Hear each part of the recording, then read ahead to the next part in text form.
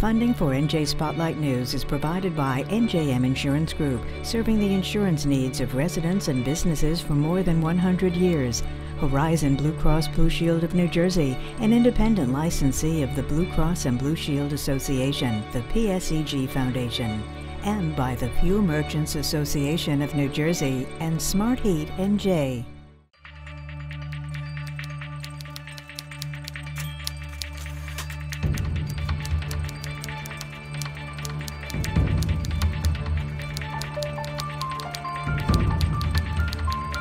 NJPBS, this is NJ Spotlight News with Briana Vannozzi. President Joe Biden is expected to sign the infrastructure bill any day now, and that means billions of dollars will be heading to New Jersey. Good evening, and thank you for joining us here on NJ Spotlight News. I'm Leah Mishkin in for Briana Vannozzi. Well, among the changes you'll see, improvements to highways, transit, deficient bridges, money to build electric vehicle charging stations, the expansion of high-speed internet, and the list goes on. There's also a pool of money that could be used to fund the Gateway project. But when will New Jersey start seeing those improvements? Senior correspondent Brenda Flanagan dives into the numbers and the overall plan. New Jersey rail riders fed up with chronic delays caused by crumbling Hudson tunnels, failing Amtrak signals, and general decrepitude can finally see light at the end of the political tunnel and the Gateway project back on a fast track with billions that will flow from the historic bipartisan infrastructure bill. It wouldn't be unfair to compare it to the New Deal. Um, in some ways, we just haven't made a investment in our infrastructure like this for, for generations. Brian Fritsch with the Build Gateway Coalition says Jersey will be able to tap into $8 billion over five years, money to help advance the Hudson River Tunnel project. Amtrak will get 24 billion for Northeast Corridor improvements. It was an unprecedented investment in Amtrak's Northeast Corridor. Uh, that, that was included in the infrastructure bill. So we should see improvements, you know, from Trenton up up to New York City um, and much smoother uh, rides over Amtrak property, including all the elements of the Gateway program uh, and the Hudson Tunnel project. The biggest piece here is that it, it can get us to a place where we can actually get full funding and fully start, right? Because you cannot finish unless you've started. Major infrastructure pro- projects need major federal dollars, right, to partner with localities so that you can really overhaul uh, uh, the infrastructure that we're still relying on from the 19th century. The Gateway Program Steve Sigmund says the Portal North Bridge will lead off the massive multi part project in August 2023. Governor Murphy called the infrastructure bill a game changer. Gateway aside, there is more than $12 billion that New Jersey is now set to receive to give our state the safe, modern, and reliable infrastructure our economic future demands. Every single member of our congressional House delegation on both sides of the aisle voted for these critical investments. Murphy noted the infrastructure bill includes 4.2 billion to unlock NJ Transit's unfunded capital projects like refurbishing Newark Penn Station, replacing old rolling stock and buying a fleet of electric buses, greener technology. They will be quiet, they will be clean, they will have better air all around um, in the communities that have buses going through them. The electrification of the fleet will be a massive improvement. There's so much that's good for Jersey um, that's going to make people's lives better. Congressman Josh Gottheimer points to other items in the bill: 104 million to build electric vehicle charging stations across the state, a billion dollars to replace lead lines that contaminate drinking water, and 100 million to expand high-speed internet. He says Jersey's Department of Transportation will get 8 billion to upgrade treacherous highways booby-trapped with potholes and repair or replace its more than 500 deficient bridges like these over Route 4 in Teaneck. I was in Teaneck a couple months ago looking again at this bridge that's literally fallen apart. It's crumbling. Uh, and something I looked at when I ran as well. It's still not fixed. So we needed the resources. Uh, you know, we waited more than three decades for this. It's a once in a century bipartisan infrastructure bill. Gottheimer admits voters were frustrated last week after political jousting in Congress slowed the infrastructure bill's passage until after the election. Negotiations between progressives and Gottheimer's moderate caucus continue on President Biden's Build Back Better bill. Gottheimer pushed to delay a vote pending data from the Congressional Budget Office. It's the right move to say you want to get information, all the information, and read and have the time to read through the legislation and make sure nothing, there were no surprises added into it um, before moving forward. Based on what I've been told by the initial uh, feedback from White House and Treasury, we should be fine uh, and be and be ready to proceed. He expects a vote later this month.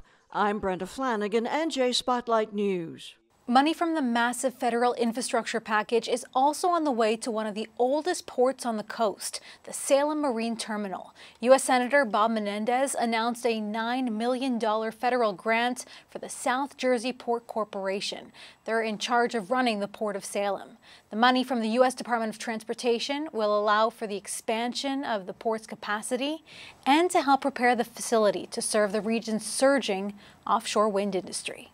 The goal is to make South Jersey the nation's offshore wind energy capital.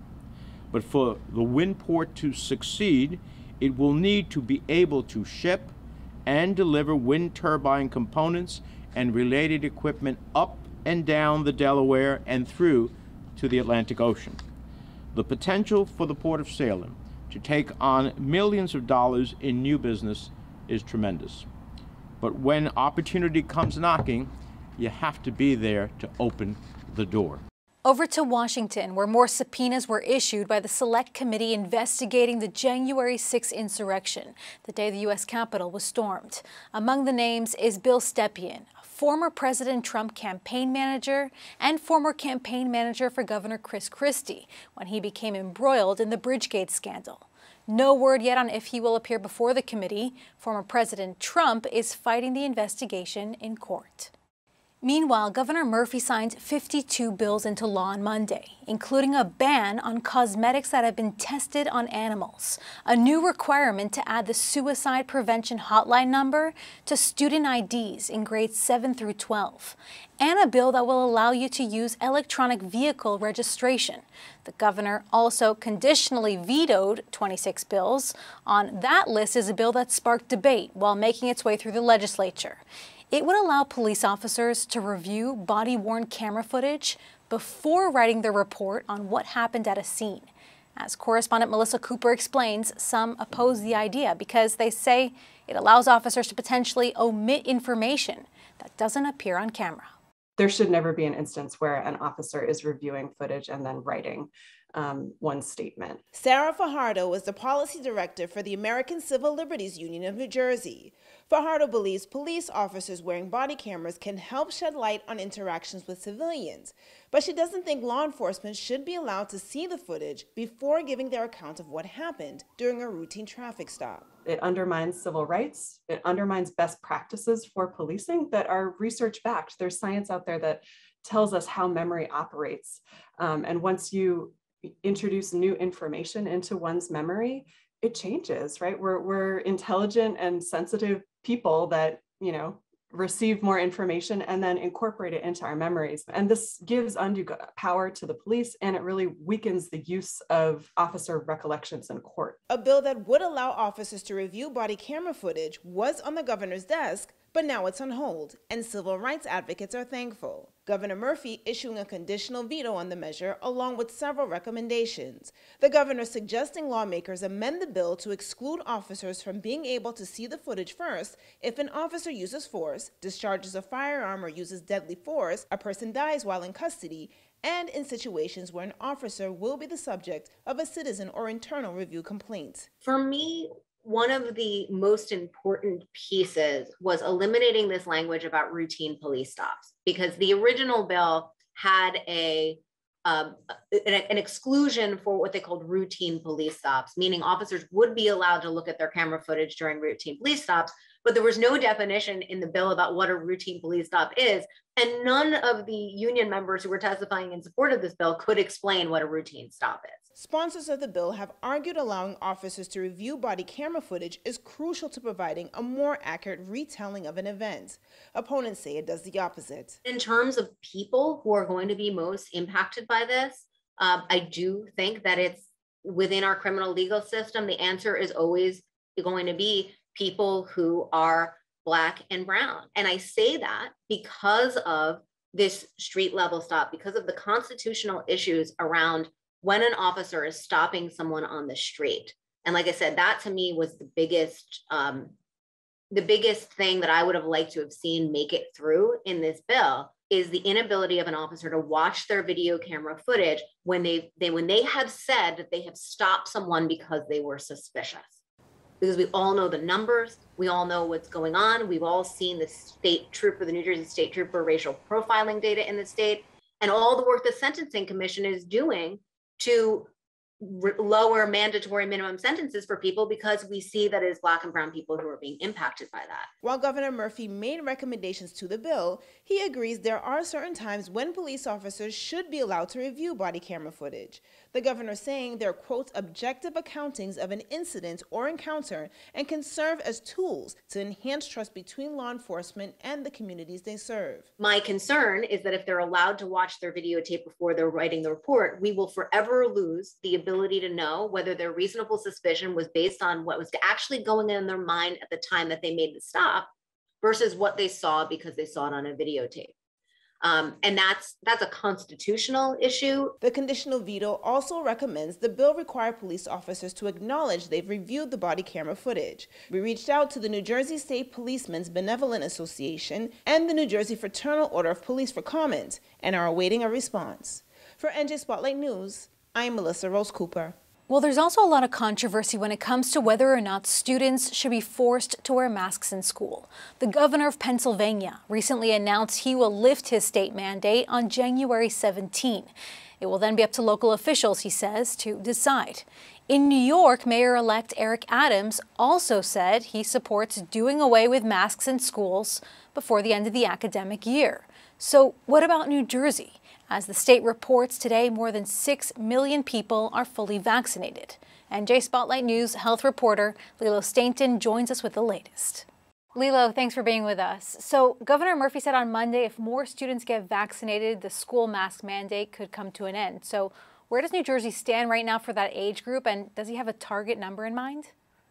Hey, Leah. Um, well, he does not have a target number in mind, um, but you know we're doing fairly well. Um, I would say on 12 to 17 year olds, right? There's about 650,000 kids in that group, um, and that group was approved by Pfizer in May to start getting vaccinated. So far, more than 400,000 of those are done, or about 400,000. So it's over two thirds of that group. Commissioner, Health Commissioner Judy Persichilli has said, um, you know, that she would she would really like it to be, you know, 70%, 75, 80%, even higher, you know, the more the better. Um, but, you know, there's at least 260,000 folks, kids in that group still outstanding. When you come to the younger kids, the 5 to 11 age group, which of course was just approved last week, um, only about 9,100 have been vaccinated. And that's a bigger group. There's 70, 760,000 children in that age group in New Jersey. So that's, you know, we've only done 1.2%. So we have a long way to go. But as you mentioned at the beginning, um, long way to go until what Murphy, the governor, didn't really give us a specific on what is enough to possibly lift the mask mandate. Did the governor address that at all? Those concerns from people who might think this is just a plot to get more students vaccinated? Right. Well, I mean, you know, the state would argue it was always following CDC guidance, which I believe it was on some level. Um, I think, you know, Murphy was asked directly yesterday if he was just twisting the arms of parents, and he said, no, these are just facts. Um, so, you know, the way they see it and, and the way the science suggests and, and, very clearly is you know when it's sort of public health basics 101 the more people you get vaccinated the less places the, the virus has to go the less chance it has to mutate which is better for everybody vaccinated and unvaccinated.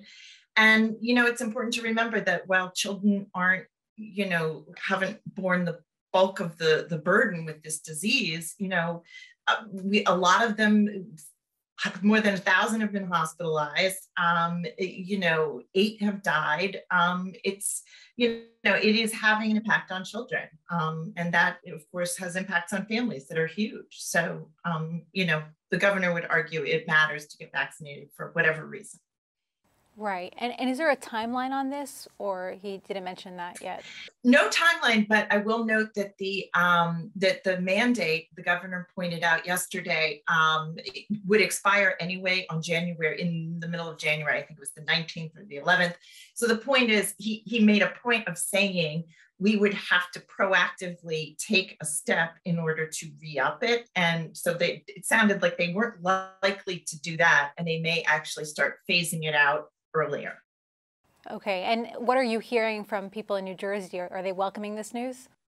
Well, I haven't talked to too many parents, but um, you know, this was a big issue at school boards. Um, it, you know, school board meetings, parents have been really up in arms. I, I suspect there will also be kids and families that will want to continue wearing masks. I mean, some of us are still wearing masks in crowded situations because it just feels more comfortable in this new world. But um, so, you know, I would hope that schools allow and encourage um, children to have some choice in that too, whatever the mandate is. Right. All right. Well, thank you so much for joining us as always. Thank you. Take care. Support for the medical report is provided by Horizon Blue Cross Blue Shield of New Jersey, an independent licensee of the Blue Cross and Blue Shield Association. New Jersey, New York, and Connecticut have cut a deal on sharing federal transportation funding. Rhonda Schaffler has the details on how much New Jersey will get, plus all the spotlight on business headlines. Rhonda? Leah, NJ Transit is getting nearly $2.7 billion in federal pandemic relief funds. That after the governors of New Jersey, New York, and Connecticut reached an agreement on how to divide up 14 billion in COVID-19 transit aid following months of negotiations. New York is getting the lion's share, close to $11 billion. New Jersey had been seeking about a billion dollars more than it received, according to reports. The funding will allow the transit agencies to cover revenue losses that occurred from ridership declines. There's a lot of work to be done in the state, and the lame duck legislature only has a few weeks left. But yesterday, lawmakers began considering dozens and dozens of bills, some of which landed on Governor Murphy's desk. One of the bills he signed would provide more money for job training at a time when companies in the state are struggling to fill open positions. The legislation would provide $3 million to the New Jersey Community College Consortium for a basic skills training program. The NJBIA says this comes at a critical time when workforce development is needed. How to address climate change and reduce carbon emissions is the key theme of the UN's Convention on Climate Change, or COP26, and one New Jersey executive is part of the conversation.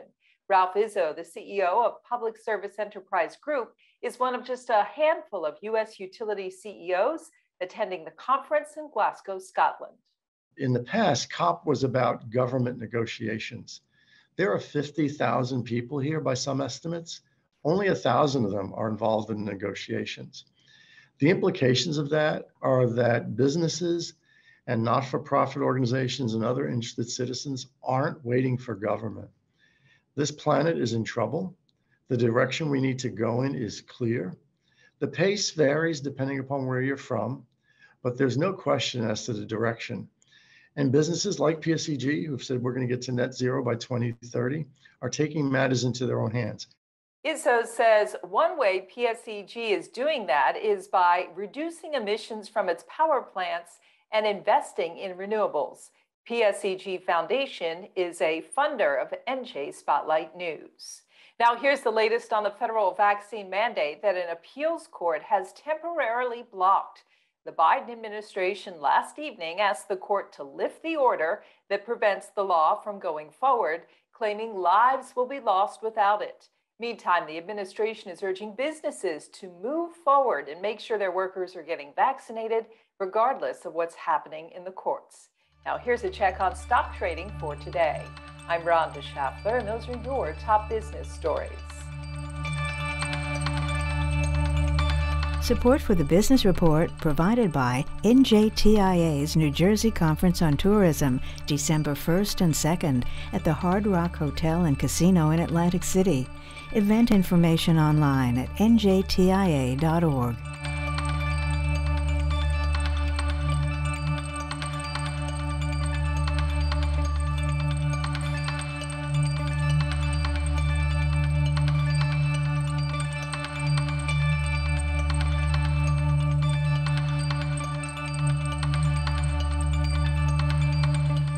More than two months have gone by since Tropical Storm Ida devastated New Jersey.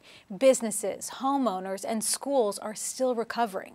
Among them is Cresskill High School, which experienced such bad flood damage that students can still not return after losing a year to the pandemic. However, the district found a new temporary location so students could get back to in-person learning, and one large company is stepping in to help them recover. Correspondent Joanna Gaggis has that story. We still have not ordered the boilers or the univents because we don't have the funding. And without those heating units, middle and high school students in Cresskill, by law, cannot attend school in their building that was devastated by flooding from Hurricane Ida. What people don't get is FEMA is a reimbursement grant.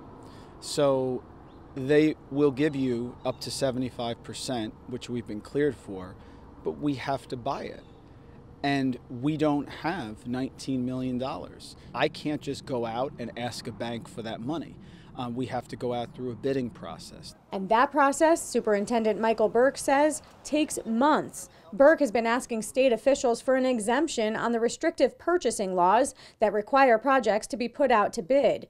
In this case, he says, it's adding a step that'll keep kids out of their classrooms for at least another three to five months. There has to be some way for us to be granted an exemption from the normal process and purchasing laws because the fact that we're sitting here two months after this happened on September 2nd and we still have not been able to order the essential parts to heat the building as we enter the winter months is unacceptable. In the meantime, students just yesterday were finally given the opportunity to learn inside a classroom setting at nearby St. Therese, a closed parochial school the district is now renting.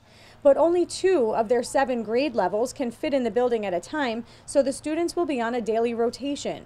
But teachers at St. Therese still need to teach across grades and need to be able to reach the students at home. And the building had no technology, not even Wi Fi. Enter LG. A lot of our students and families work. They have parents or relatives who work at LG, and they ask to help. So for LG to donate 12 75 inch ultra high def televisions is incredible because it allows us now to stream out of the classroom and the teachers to see their students who are home on a virtual platform. And the good news didn't stop there. At a press conference today announcing additional LG support. Today, I'm proud to share with you that we are going to donate another $25,000 wow. to the school oh. district um, to really help the, the community and the students in getting back into the classroom. The funds are incredible, and I didn't know about that. I was coming down here because of the televisions, which was beyond generous. This leaves me speechless. Those kids got to get back to school, and, and we got to fight for it and fight for the money to get it done done. And the superintendent's been on the running point on that. And we would not we would not be here except for you today, obviously. Uh, headquartered right in Englewood Cliffs, one of my favorite towns. Uh, LG has come up big, great neighbor, and helping our communities in need.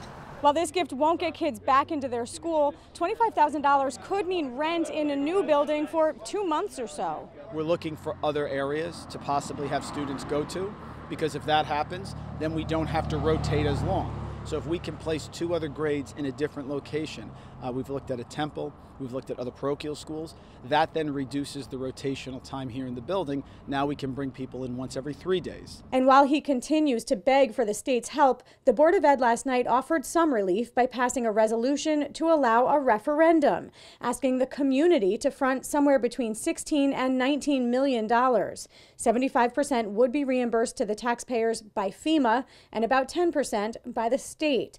That could happen in January, which would allow students to be back in the classroom before the end of the year. For NJ Spotlight News, I'm Joanna Gaggis.